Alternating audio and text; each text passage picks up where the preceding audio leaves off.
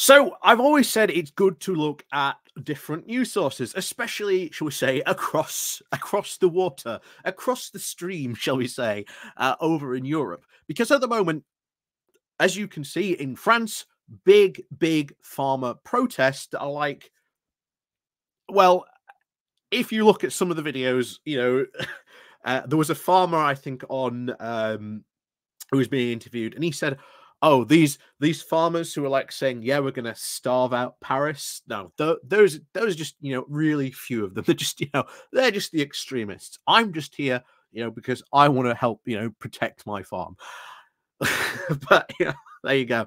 Um but I, I think it's in, in interesting to sort of look at what is going on in Europe, especially as you are seeing the far right really go after farmers. And bear in mind, the French left are coming out here and saying, well, look, yes, these farmers do have problems, but the big problem is is that it is these these right wing, um, you know, trying to sort of rile up these farmers, get them onto their side, and get them to so say on their political side and get them to sort of you know do the type of things that you know they would like to do on the on the right wing. And as I said before, just a, just a couple of weeks ago, it is really important we do not ignore groups like this, groups that traditionally, maybe in the past, the left wing has ignored or not really taken seriously or gone, you know, farming's not really you know our key issue. Sure, we'll talk about it, but you know it, it, it's honestly really difficult. But in, in, this country, the farmers, you know, do not have as much power as they as they do in France. So I think it's rather interesting to have a look at this to see if now that these sort of big French protests are happening, there's a lot of people going, well, hold on, Macron, why aren't you calling in the army, the you know the the National Guard, etc. Say right, if you're if you're threatening to, or at least in your actions, you are cutting off and effectively blockading, um, you know, a, a, a city which is going to have you know significant problems. Um, yeah, maybe it's time to take care of you, because a lot of people on the left are pointing out that if a, a left wing climate activist group came out and did something very similar to what these farmers are doing, they would have been cleaned up in like maybe less than a week. Um, so it is interesting that, and, and I say this now because you've got to ex, ex, you know, I this does not refer to sort of UK farmers. This is very, very much talking about what is going on in Europe and the issues that you know farmers sometimes you know do have because they do have issues, but they also can cause problems as well. And this is what this article is talking about that farmers get away too easily when they cause problems. And it is because they are seen, especially in Europe, as quite somewhat a powerful force, especially as you can see in France. Because there is no way if farmers in the UK did this to London, they would get away with it because they are not as powerful as um, as as sort of they are in in, in France. So I want to make that expressly clear. Um, it is an interesting perspective. And I think, given the fact what's going on in Europe, I think it's well worth having a look at. So we're going to have a look at that today and see what's see what's going on um, on this and what the conversation is is going on ar- around this at the moment. Because I think it's kind of interesting in in many ways. So I'd be interested to see. Um, like I say, especially if you are are in farming or agriculture, or anything like that, and you are in the UK, what do you think to this conversation? I'd be very interested to see what your thoughts would be. So as always, uh, thank you very much to all those people who do help and support the channel. Like I say, you can click the like, you can click the share button. If you're new to the channel, click the subscribe button. And down below, there are links to my Patreon page, the one off Foundation link called Buy Me Coffee, we can well buy me coffee. And of course, there's the YouTube thank you button, and of course, the Pony Club down below as well. So off we go to a Belgium source for this called Knack. I think that's how you say it. Uh, like I say, not a Belgium. So this is um, translated as well. So I do apologize um, if this sort of reads weird, like I say, I have to rely on the sort of the translation that Google is giving me. So, title is Farmers Get Away Too Easily with the Problems That They Cause. So, playing firefighters and Stoke brands on the Mersken Viaduct on the Antwerp Ring, blocking motorways towards Brussels, fill critical bridges and roundabouts with tractors, closing ports of distribution centers for department stores. Once again, things cannot go well with farmers who, over that past half century, have felt an irresistible urge to thoroughly disrupt social functioning, and not only in us, but also in our neighboring countries and elsewhere in Europe. The consequences are, of course, palpable. People cannot get to work or to the hospital, where they uh, where they finally had an appointment after months of wait waiting. Schools are now switching to social social distance learning. Drivers get stuck on shortcuts. Journalists, Joel de Calais, misses the D the I have no idea how you spell that the D Alpha Sprack on canvas, and that became news. Imagine that. People are rearranging agendas, postponing trips. Employer organizations are now warning of economic losses. No one can predict how long this misery will last, and many fear that things will get out of hand uh, here, and that they and that and that their incidents involving the truck drivers have already been reported. Yet, it is striking how cautiously the authorities are dealing with the farmers' demonstrations. Not everyone can enjoy the same tolerance. In recent years, climate activists have been regularly arrested and convicted both in our country and in neighboring countries for causing traffic and other nuisance. They wanted to draw attention to the, lack, to the lacks in the tackling of global warming. Greenpeace activists who have protested against gas imports uh, in the port of Z- uh, Zeebrugge ended up in jail within 48 hours. British climate activists who blocked the bridge on the London Ring were given a three year prison sentence, a very dissuasive effect for others. Dutch climate activists were also recently sentenced for community service for incitement to what they called of blocking off a traffic axis. A poet who was allowed to speak at the Flemish Folk Festival on January the 6th and then took the opportunity to draw attention to the, to the Palestinians uh, in the Gaza Strip was arrested and locked up for six hours. But farmers can turn the country upside down with impunity. It is symbolic of the fact that they have been able to easily get away with socially disruptive activities for decades. And I want to remind you, this isn't a, a UK thing. Um, you know, farmers here in the UK would not be treated in the same way. They do not have um, as much political power. Um, but equally, I, would be interested in, in hearing, you know, if you're in Europe and you're experiencing what's going on, I'd love to hear what your views um, on on what's going on this with farmers. I'd love to sort of see what you've got to say, uh, sort of in response to this. It'd be very very interesting. Um, so they get away with socially disruptive activities for decades. Uh, so, continue. Um, so continue from there. They place a very strong claim on both our environmental and our health. They make a substantial contribution to global warming, and they are partly responsible for the nitrogen pollu- pollution that not only disrupts our nature, but is also very harmful to our health. They are spraying pesticides en masse, which is becoming increasingly clear that they are taking a very serious health toll without being much done about it. The environmental and health costs for agriculture activities are unashamedly passed on to society and not included in the price of our food, allowing farmers' lobbies to claim that our food has never been as cheap as it is now. And yes, Farmers have to work hard for a meager wage. They should certainly earn more. But this also applies to people in other important sectors, such as healthcare and education, which have far less stronger lolly, far less stronger lo- can't even say it, far less stronger lobbies. Uh, the farmers union has more power in our country than the super rich, says economist Gert Peersman. Um, also this week uh, in another article. But you could just as well say that about the Broadbent, one of the most super rich. The assets they are now holding compared to the MRBB above the Bourbon amount, approximately over 5.5 billion euros, and continues to rise. It is about high time that policymakers talk with farmers instead of about farmers, says Brandok, uh, chairman of Le- uh, Leod Census, who sat for the CD and V in the Flemish Parliament for years before coming the head of uh, of Bordebon. Uh, Census, who uh, should not complain about policy attention for his sector. A number of CDD uh, for the members, including ministers, do appear to be in front of the rows for Bourbon symposia. Over the past 20 years, the party has sympathetically uh, been very much responsible for agriculture. There has also been very direct line from the farmers' policy all along.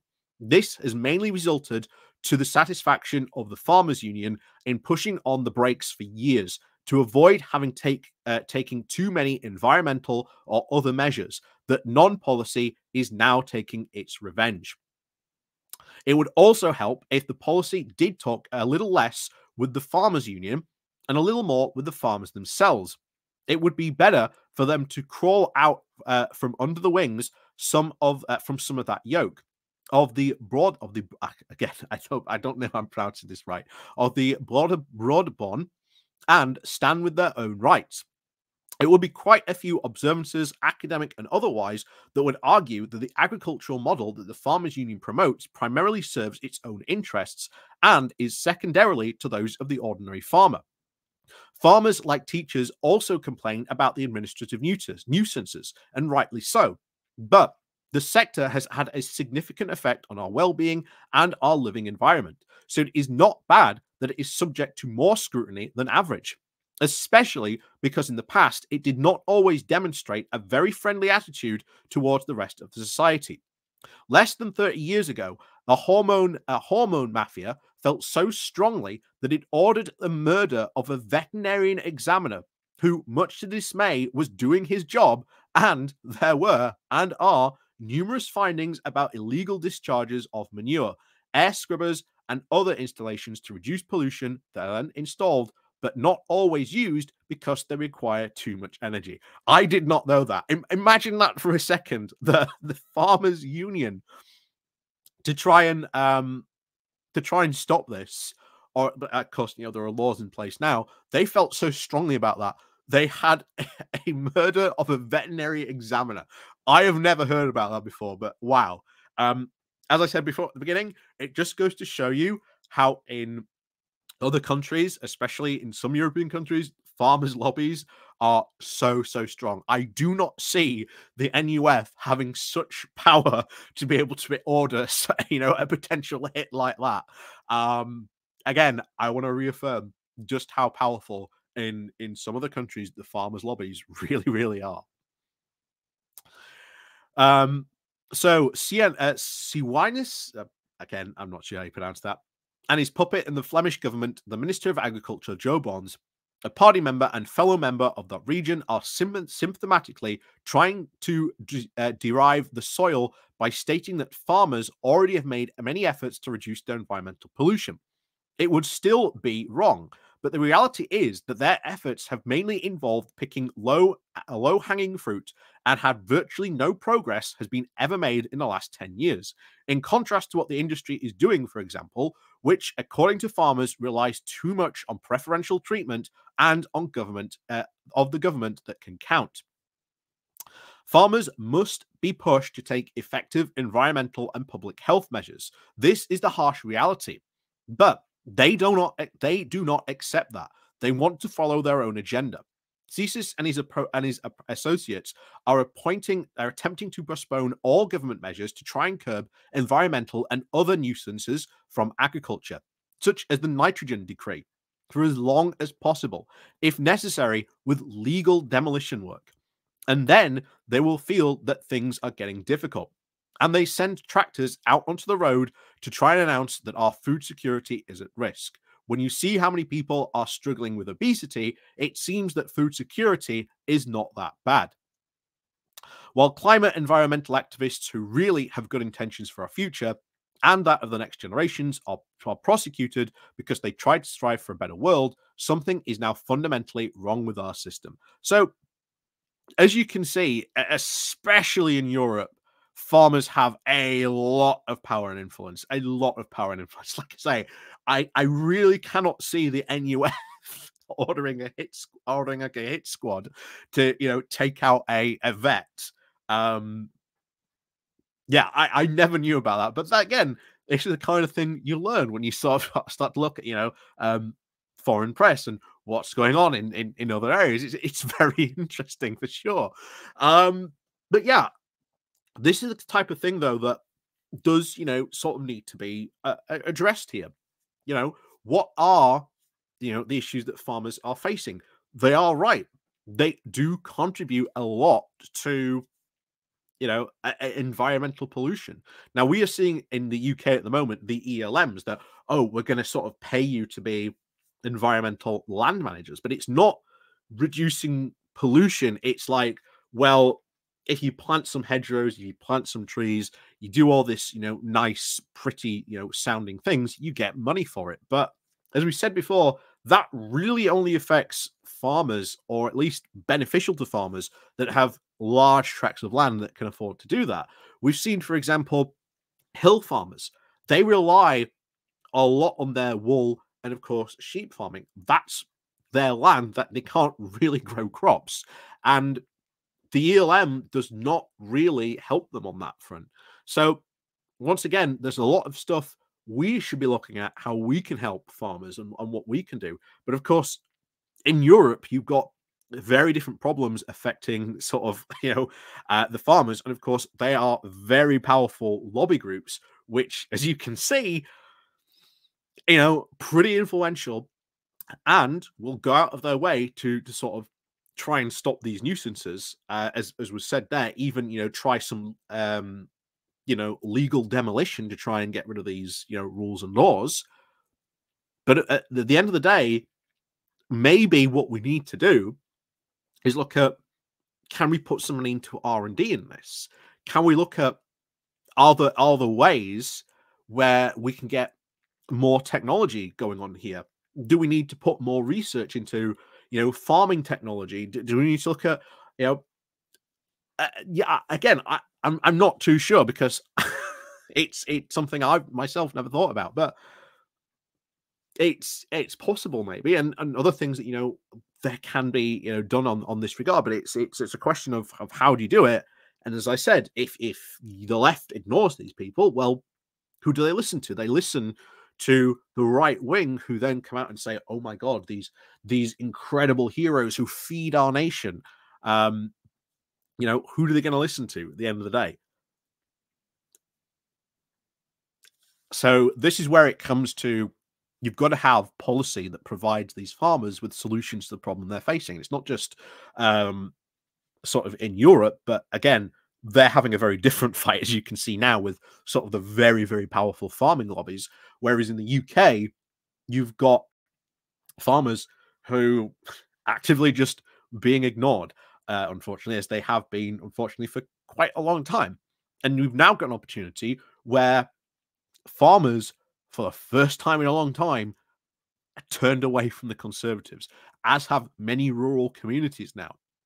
So there is an opportunity there to go in and get those votes. But to do that, you have to have the policy to help, you know, solve, you know, the, these problems. And it, it's stuff like what do you do about schools in in in rural areas? There's there's a ton of other sort of questions that you know need to be asked about uh, about rural areas that you know should be solved uh, as well not just of course the needs for farmers as well and unfortunately something as i said before traditionally the left has sort of ignored. Rather than focus on uh, you know rural and, and agricultural issues we've very sort of focused on town and sort of city issues.